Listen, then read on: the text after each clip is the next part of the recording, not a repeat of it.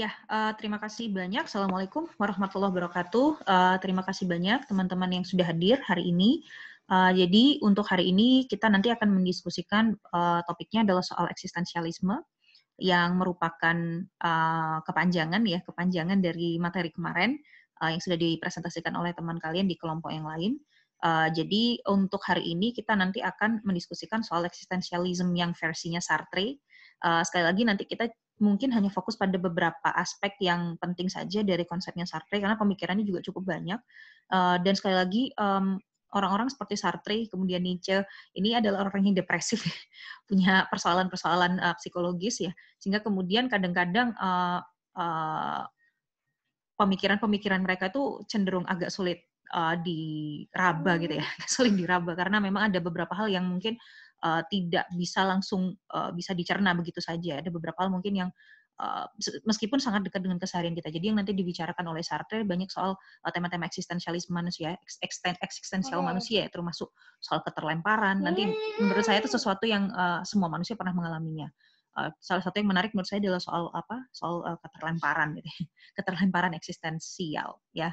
Um, untuk untuk itu uh, karena kelompok yang uh, presentasi sudah mempersiapkan meskipun saya tidak tahu apakah semuanya sudah hadir semoga uh, sebagian besar sudah hadir. Nanti kalau misalnya ada uh, anggota kelompok yang belum hadir saya kira nanti bisa sambil bisa langsung uh, bergabung ketika presentasinya sudah dimulai. Jadi saya persilahkan kepada kelompok yang bertugas untuk presentasi hari ini untuk mempersiapkan Silakan.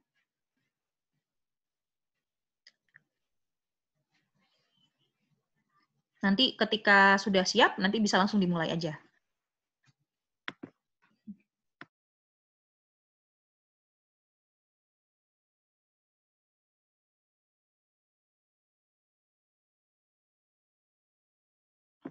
Uh, mungkin kelompok yang uh, akan presentasi uh, dipersilahkan untuk me share screen ya. Tadi kayaknya sudah sempat dicoba. Jadi silakan di share screen kemudian bisa langsung dimulai presentasinya.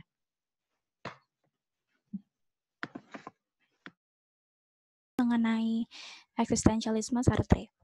Sebelumnya kami akan berkenalan terlebih dahulu. Nama saya Ranian, NIM 096.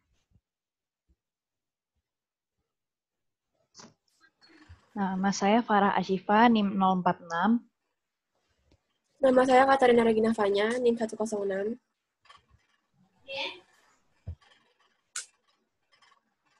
Nama saya Kirana, NIM 037. Nama saya Indah, NIM 081. Nama saya Widawati Hastuti, NIM 044.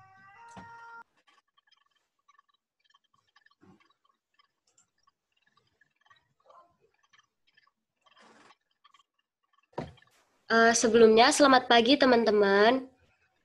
Uh, jadi kami tadi udah tahu kan kami dari kelompok ek eksistensialisme. Uh, hari ini kami akan membahas mengenai lima pokok bahasan. Yang pertama ada kebebasan dan ada. Kedua, penolakan atas ego transcendental Husserl. Ketiga, tentang imajinasi. Keempat, tatapan dan yang lain. Dan juga kelima yang tentang fenomenologi tubuh.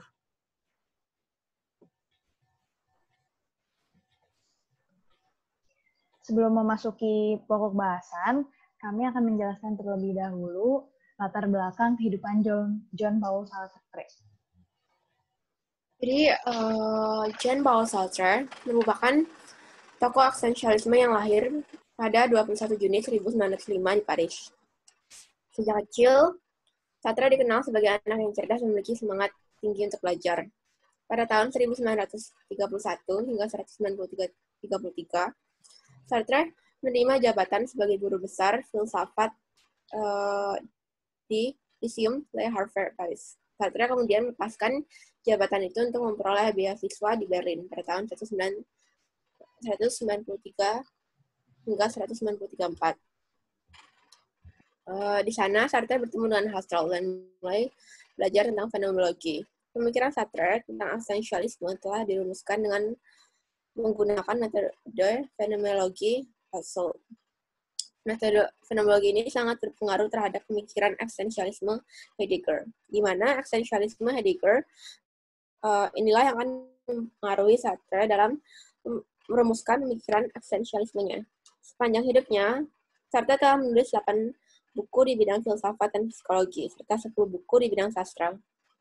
Uh, Sartre meninggal pada 15 April 1980. Sartre beranggapan bahwa manusia memiliki kebebasan mutlak untuk menentukan masa depannya, karena manusia bukanlah makhluk yang kodrat atau esensinya telah ditentukan. Hal inilah yang disebut Sartre sebagai esensi uh, manusia yang kemudian menjadi fokus pemikirannya yang tersimpul dalam pernyataan Sartre bahwa manusia uh, bagi manusia esensi melalui mendahului esensi.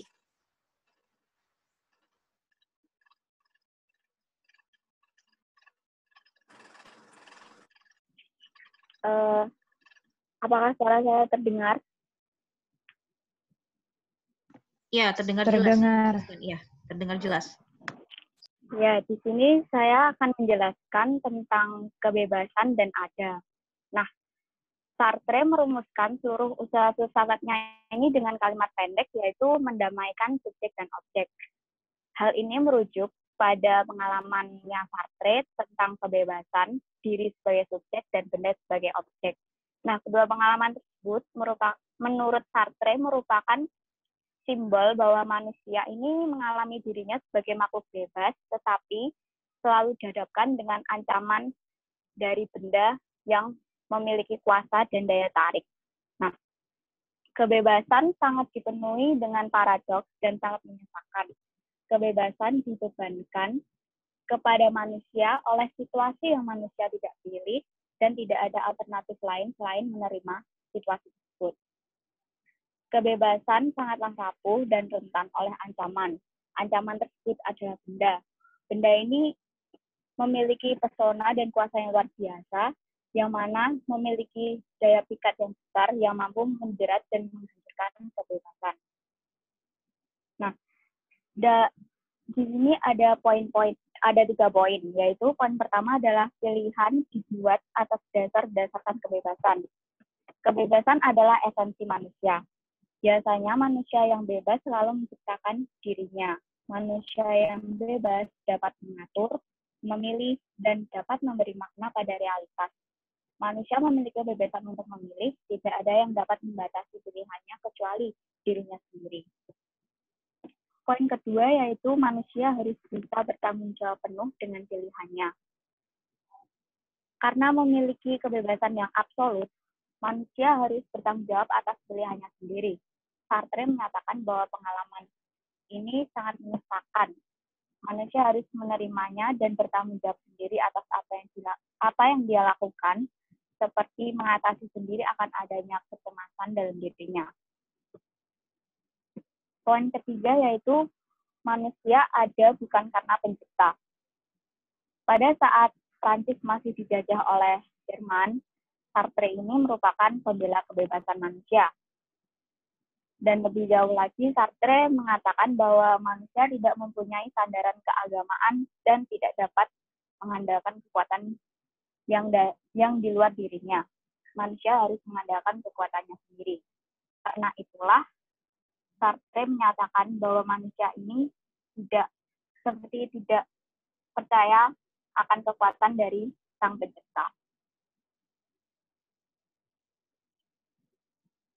Itu adalah penjelasan dari saya.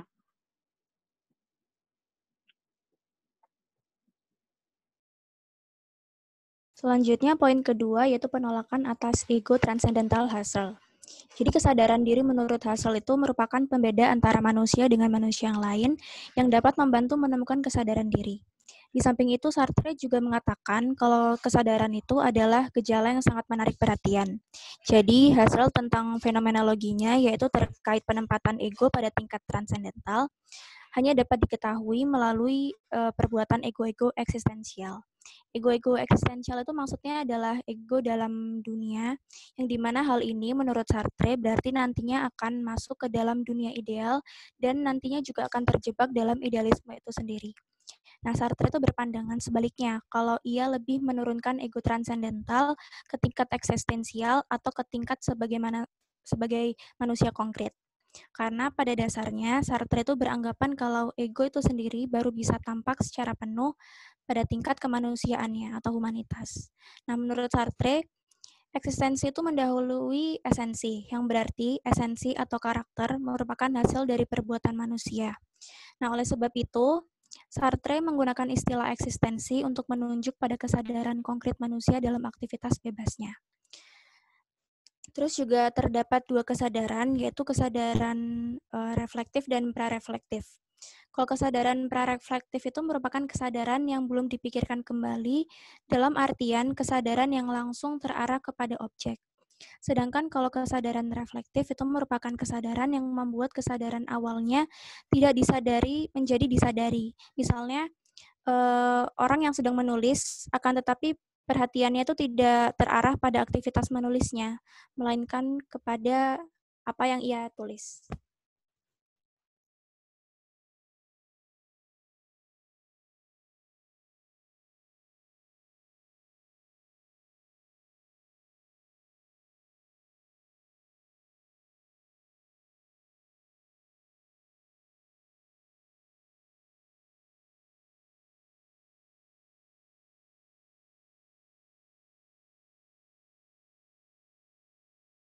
Selanjutnya, imajinasi akan dijelaskan oleh Widowati.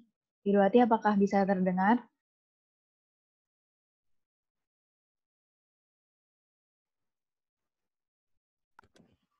Uh, apakah suara saya terdengar?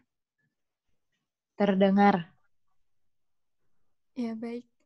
Uh, saya akan menjelaskan poin tentang imajinasi dari Star Trek.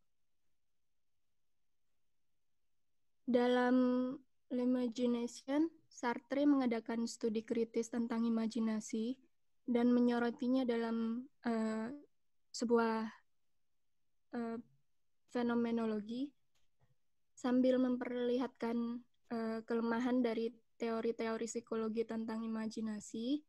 Dia juga memuji keunggulan pendekatan fenomenologi dari Husserl tentang gejala yang sama dalam Eden. Kemudian di sini ada empat perbedaan dasar antara imajinasi dan persepsi. Nah, fenomenologi Sartre tentang imajinasi sebetulnya dituangkan dalam L'Imaginary tahun 1940 yang olehnya dinamakan karya tentang psikologi fenomenologis tentang imajinasi. Akan tetapi, uh, dalam karya Sartre ini, kita juga harus membatasi perhatian kita pada perbedaan antara persepsi dan imajinasi. Yang mana ada empat poin. Yang pertama, perbedaan antara persepsi dan imajinasi tidak terletak pada kehadiran dan ketidakhadiran suatu citra. Maksudnya, melainkan pada terarah pada uh, cara terarahnya kesadaran kita pada objek intensionalnya atau pada objeknya. Sartre berulang kali juga menegaskan bahwa tidak ada perbedaan asasi antara objek yang diimajinasikan dengan objek yang dipersepsi, baik dalam sifat maupun tempatnya. Objek dari kedua perbuatan tersebut sama saja yang berbeda adalah cara kita menyadarinya, cara kita menyadari dari objek tersebut. Kemudian perbedaan yang kedua adalah cara kita mengalami objek. Kalau di imajinasi, kita, uh, maksud saya kalau di persepsi, kita sepenuhnya bergantung pada suatu proses observasi. Namun di imajinasi, kita bergantung pada kuasi imajinasi. Kalau dalam persepsi, pengamatan pengamatan kita yang berikutnya dapat kita membawa dapat membawa kita pada suatu hal yang baru yang sebelumnya belum kita uh, temui atau alami. Kemudian kalau di imajinasi kita tidak dapat sampai pada hal-hal tersebut maksudnya kita tidak bisa uh, terbawa ke dalam sesuatu yang baru, meskipun itu uh, pada proses pengimajinasian itu objek yang kita imajinasikan terus berlanjut. Uh, alasannya karena sekali imajinasi awal kita berhenti, maka imajinasi kita yang berikut yang berikutnya tidak berguna lagi atau tidak bermak tidak bermakna lagi. Kalau di kalau dipersepsikan kalau kita meskipun uh, observasi yang awal sudah terhenti, kita dapat melakukan observasi kembali di suatu hal yang baru. Ketiga, imajinasi menghadirkan objeknya secara negatif atau tidak ada. Nah, imajinasi menghadirkan objeknya secara dengan karakter negatif berarti bahwa objek yang di yang diimajinasikan disifatkan sebagai sesuatu hal yang tidak hadir di di mana pun dan memang tidak ada objek tersebut sebenarnya. Dibandingkan dengan uh, perbuatan perseptif perbuatan imajinatif selalu dalam posisi kekurangan yaitu kekurangan dari objek. Kemudian perbedaan yang keempat Imajinasi jauh lebih spontan, kreatif, dan produk produktif daripada persepsi.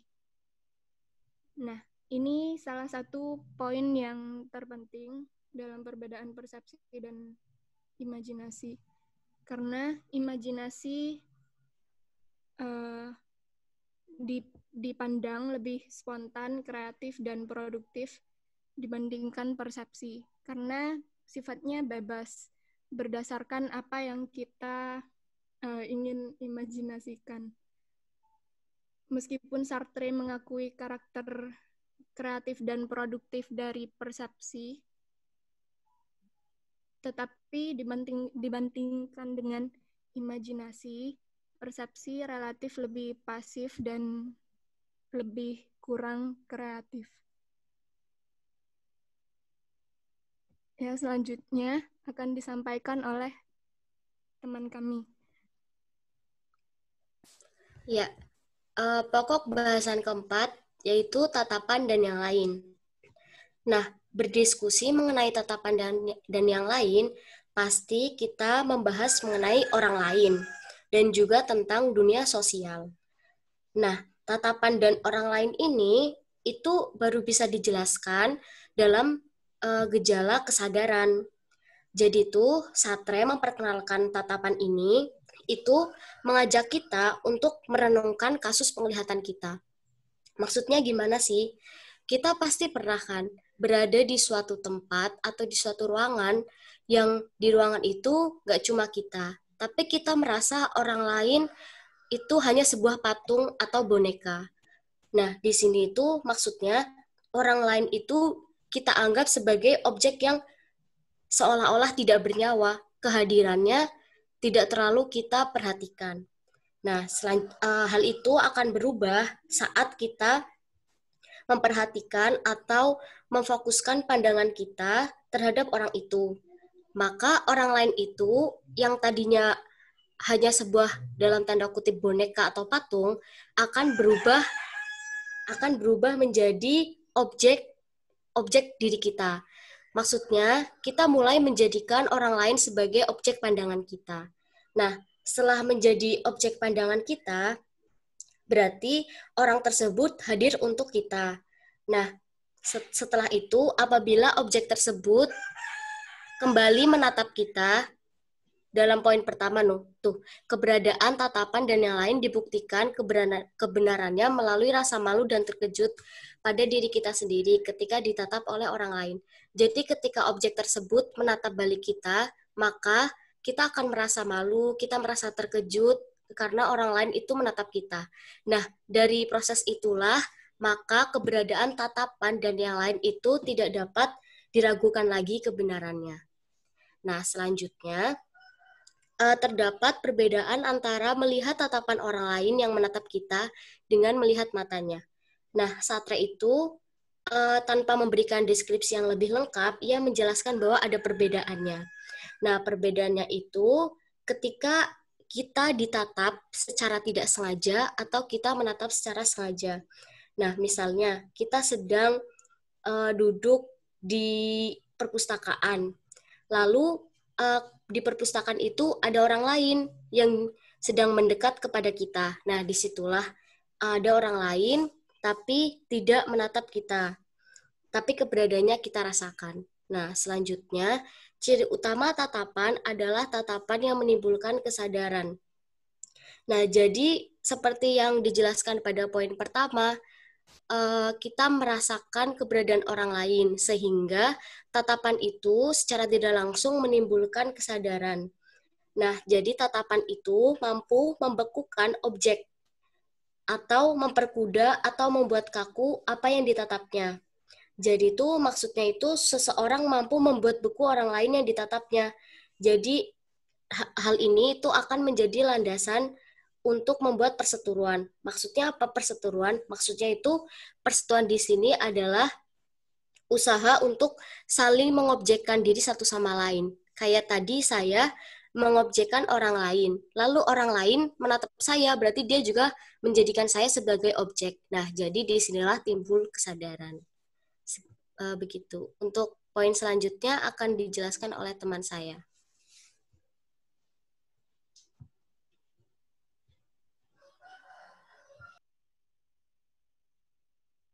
Selanjutnya, pokok bahasan yang terakhir ada fenomenologi tubuh. Uh, di sini Sartre membagi dimensi-dimensi tubuh. Yang pertama ada tubuh bagi bagi saya sendiri, yang kedua tubuh saya bagi orang lain, serta yang ketiga tubuh bagi saya yang menyadari adanya dimensi kesadaran orang lain akan tubuh saya. Pertama-tama, saya akan menjelaskan tubuh dari sudut, sudut pandang Sartre. Jadi Sartre itu melihat tubuh gejala tubuh itu dalam perspektif filsafat sosial. Makanya Sartre itu tidak mengarahkan uh, teorinya ini sebagai objek penelitian ilmiah seperti di dalam ilmu anatomi atau fisiologi. Melainkan pada tubuh sebagaimana dialami secara langsung, secara sadar oleh kita dan fungsi tubuh dalam kaitannya dengan relasi kita dengan orang lain. Jadi fenomenologi tubuh ini ada kaitannya dengan tatap dengan tatapan yang lain sebelum yang sebelumnya teman saya jelaskan. Di dalam pengalaman sehari-hari, kita tidak memperhatikan atau mengamati aktivitas otak atau kelenjar endokrin yang bekerja dalam tubuh kita kan. Tapi kita uh, menyadari bahwa kita mengalami tubuh sendiri sebagai tubuh, sebagai subjek kita gitu loh. Yang meliputi tiga dimensi yaitu yang tadi yang itu yaitu tubuh sebagai saya sendiri, tubuh bagi saya orang lain dan tubuh bagi saya yang menyadari adanya dimensi yang lain. Yang pertama, tubuh bagi tubuh saya bagi saya sendiri. Pengamatan Satre pada tubuh menghasilkan kesimpulan bahwa tingkat kesadaran prareflektif kita mengada pada atau menghidupi tubuh kita. Jadi, eh, tubuh kita ini sadar kita tubuh kita ini sadar secara otomatis terlibat dalam aktivitas keseharian kita dan fungsi utama tubuh ialah sebagai titik pandang kita dalam hubungannya dengan dunia. Berkat tubuhlah kita dapat merubah perspektif kita tentang dunia. Nah, Sartre juga mengatakan bahwa tubuh yang beres, uh, tubuh ya tubuh yang bereksistensi. Ini berarti bahwa eksistensi manusia selalu melibatkan tubuh. Kita hidup di dalam dan melalui tubuh kita setiap perhubungan kita dengan dunia adalah perhubungan kita melalui media kesadaran akan akan tubuh kita melalui tubuh dan melalui tubuh dan karena kesadaran kita akan tubuh kita sendirilah yang membuat aktivitas kita ini berjalan. Dengan demikian, eksistensi bukan hanya cara berada yang khas manusia, tetapi juga perilaku sadar dan konkret manusia dalam dunia dan bersesuaian dengan dunia yang dialaminya. Lalu berkat tubuh inilah kita dapat merubah perspektif kita di dunia. Bisa dicontohkan dengan misalnya uh, kita baru mengunjungi sebuah taman. Nah, taman yang tadi saya jadikan sebagai tempat beristirahat. Kini saya berada di tempat lain di di tempat lain selain taman itu, namun taman itu ada di depan saya gitu. Yang yang taman itu sekarang ada di seberang jalan saya. Setelah tubuh saya pindah ke seberang jalan. Padahal perubahan demikian tidak mungkin terjadi dalam hubungan kita dengan tubuh kita sendiri. Misalnya kita nggak bisa meninggalkan tubuh kita di laboratorium untuk mengamati tubuh kita atau enggak kita meninggalkan uh, bola mata kita untuk melihat bagaimana tubuh kita sendiri. Gitu. Akan tetapi bisa saja kita mengatasi atau mengadakan transendensi atas tubuh kita sendiri dalam hubungannya dengan dunia. Misalnya, kalau kita melihat benda yang jauh, kita merasa ber, kita merasa berada bersama dengan benda, benda itu tanpa jarak, meskipun pada kenyataan terdapat jarak yang memisahkan kita ada dengan benda itu. Misalnya, kalau misalnya kita lagi ngeliat matahari kan matahari kan biasanya tuh kayak kita kejar terus nggak akan bisa kan. Cuman kita tuh ngerasa matahari itu ada dengan, ada terus dengan kita. Terus selain itu ada contohnya juga kayak misalnya eh, merasa bersama dengan kekasih tapi meskipun dia berada di tempat yang jauh. Itu semua berlangsung dalam kesadaran para pra-reflektif kita. Meskipun demikian ada juga unsur kontingensi dalam keadaan dalam pengalaman diri kita yaitu kita merasa muak dengan diri kita karena kita mengetahui bahwa diri kita itu ya seperti ini. Lalu yang poin kedua yaitu tubuh saya bagi orang lain. Tubuh kita sebagaimana tampak bagi orang lain itu kaya akan rupa-rupa ya. Maksudnya eh, bagi orang lain kita itu punya banyak sifat, maka dari itu uh, tubuh kita itu dipandang orang lain itu sebagai objek pemuas pemuas nafsu seks atau enggak sebagai bahan cemoohan orang lain karena kekurangan-kekurangan atau kecacatan yang kita miliki dalam tubuh kita atau sebagai atau bisa jadi sebagai tubuh yang dikagumi karena bentuknya yang cantik dan indah atau sifat-sifat kita yang lainnya. Yang poin ketiga ada tubuh bagi saya yang menyadari adanya dimensi kesadaran orang lain akan tubuh saya. Ini berkaitan dengan adanya rasa malu. Jadi, perasaan malu atau segan ini uh, merupakan ungkapan khas dari kesadaran kita akan perhatian orang lain. Jadi, buktinya buktinya bukti kita apa ya disadari keberadaannya oleh orang lain itu karena adanya aktivitas malu malu tadi gitu ya lalu uh, dan karena sumbernya jauh lebih penuh ketimbang kesadaran akan tubuh kita, yang tadi dimensi yang pertama, tubuh bagi saya sendiri itu, maka Sartre menegaskan bahwa kita memerlukan orang lain untuk mengetahui siapa diri kita sebenarnya. Gitu. Bukan tapi bukan hanya melihat kita sendiri sebagaimana orang lain melihat kita.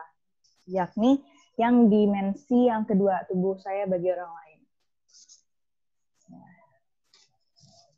Saya kira penjelasan kami sudah selesai.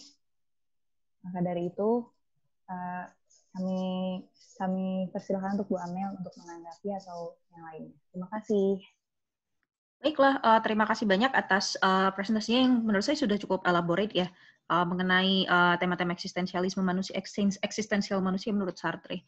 Uh, menurut saya sih sebenarnya yang terpenting yang perlu kalian uh, apa yang perlu kalian ingat ya soal konsep apa sebenarnya yang dibayangkan oleh Sartre soal uh, soal eksistensi manusia itu adalah uh, dia cukup terkenal ketika dia bilang bahwa uh, dia punya adagium yang sangat menarik yang kemudian itu dilekatkan dengan dirinya itu adalah eksistensi mendahului uh, meaning ya. Jadi existence precedes uh, meanings kata dia.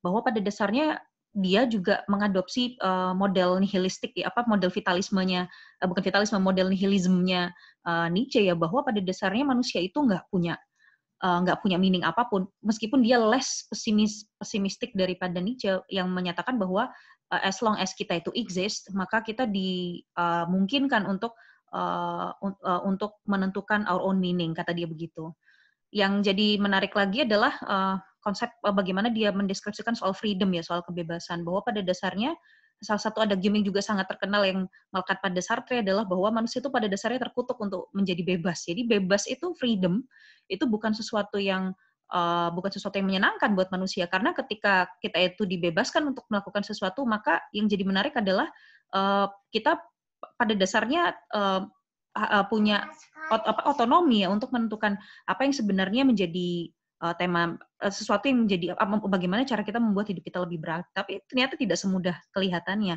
Bahwa pada dasarnya justru kita akan lebih mengandalkan pada uh, lebih menyukai bahwa ketika itu sesuatu yang sudah uh, predetermin ya sudah diberikan yang sudah ditentukan oleh uh, ditentukan untuk diri kita. Justru ketika kita menghadapi kebebasan, justru kita akan mengalami suatu apa suatu kekosongan eksistensial itu menurut uh, beberapa eksistensialisme uh, eksistensialis pada dasarnya menentukan our own meaning itu tidak semudah kelihatannya dan justru ketika kita tuh dibebaskan untuk menentukan our own meaning itu yang justru akan menjadi uh, problema problema yang paling mendasar manusia itu adalah keterlemparan kekosongan eksistensial.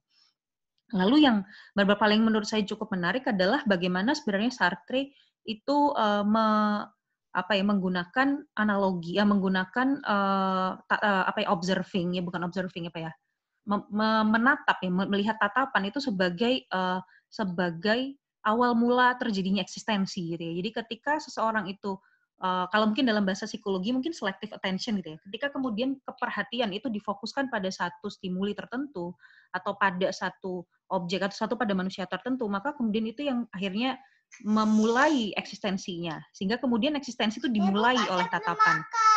Nah, itu yang menurut saya juga uh, apa menurut saya juga sangat menarik. Dia meletakkan uh, pondasi, meletakkan tatapan itu sebagai pondasi pondasi eksistensi dari manusia.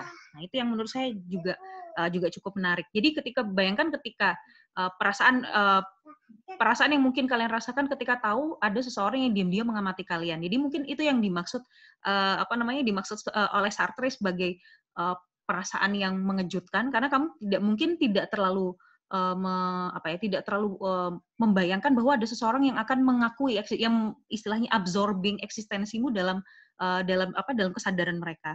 Nah, itu menurut saya juga sangat-sangat menarik ya tema-tema seperti itu.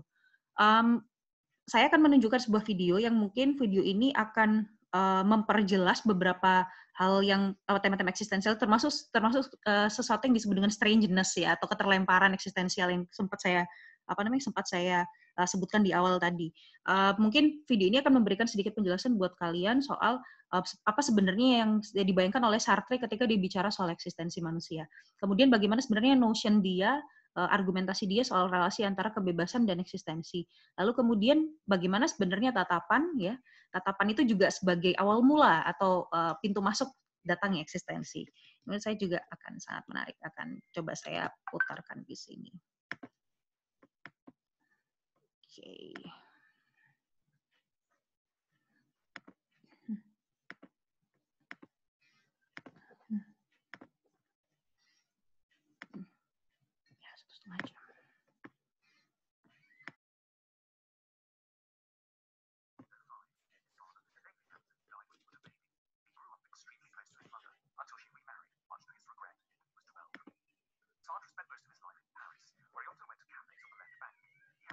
A wandering eye, and wore distinctive heavy glasses. He was very short, 5 feet 3 inches, and frequently described himself as ugly. By the 1960s, Sartre was a household name in both Europe and the United States, and so was his chosen philosophy, existentialism. Sartre is famous principally for his book, Being and Nothingness, which enhanced his reputation not so much because people could understand his ideas, but because they couldn't quite. Existentialism was built around a number of key insights. One, things weirder than we think. Sartre is acutely attentive to moments when the world reveals itself as far stranger and more uncanny than we normally admit. Moments when the logic we ascribe to it day to day becomes unavailable, showing things to be highly contingent, absurd and frightening. Sartre's first novel, Nausea, published in 1938, is full of evocations of such moments. At one point, the hero, Roquentin, a 30-year-old writer living in a fictional French seaside town, is on a tram. He puts his hand on the seat and then pulls it back rapidly. Instead of being the most basic and obvious piece of design, scarcely worth a moment's notice, the seat probably strikes him as deeply strange. The word seat first shines forth in all its primordial oddity, as if he's never seen one before. Rockhunter has to force himself to remember that this thing beside him is boleh kayak gitu aja saya. Very terrifying moment Gak boleh kayak gitu Bogota has. Peered into what some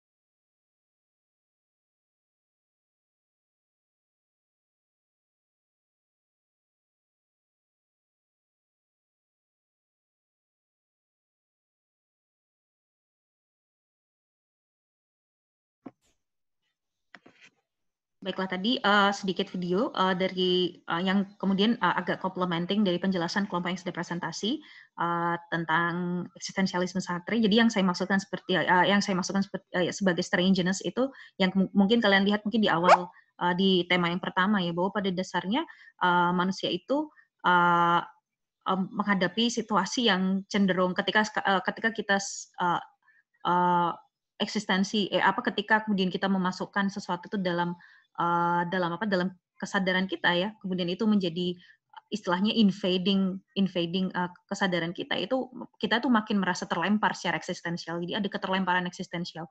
Maka kemudian pada dasarnya uh, cara kerja kesadaran kita itu cara kerja kesadaran kita supaya tidak mencapai apa tidak apa tidak berada pada uh, pada kondisi keterlemparan eksistensial, maka yang kita lakukan uh, kita melakukan selective attention. Jadi kita hanya memfokuskan uh, kesadaran kita, memfokuskan atensi kita pada hanya hal pada hanya hal tertentu. Gitu.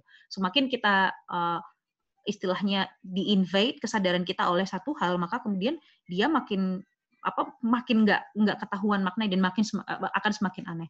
Ya pada situasi di mana misalnya ketika kalian memikirkan makna dari suatu kata, kalian mungkin akan merasa ketika kemudian apa sebenarnya makna dari kata tersebut misalnya kemudian dipikir kenapa kok susunannya harus seperti itu dan sebagainya itu hanya menghasilkan yaitu apa keterlemparan eksistensial sehingga kemudian itu uh, tujuan sebenarnya adalah untuk gaining the meaning itu juga akhirnya uh, completely failed akhirnya di situ. Uh, baiklah mungkin itu adalah uh, penjelasan yang sangat sederhana dan sangat simplistik soal sangat simplistik soal uh, konsep eksistensialismenya Sartre. Semoga ini membantu uh, pemahaman uh, membantu untuk membantu kalian untuk uh, setidaknya sedikit familiar dengan uh, apa namanya dengan konsep-konsep dasarnya Sartre. Uh, kemudian apabila ada pertanyaan, kadang-kadang uh, mahasiswa itu uh, ada pertanyaan, cuman kemudian tidak terlalu uh, suka dengan ide bahwa harus ditanyakan langsung kepada dosennya, sehingga kemudian uh, saya memberikan kesempatan buat kalian untuk menanyakan pertanyaan secara apa namanya ya, secara anonim.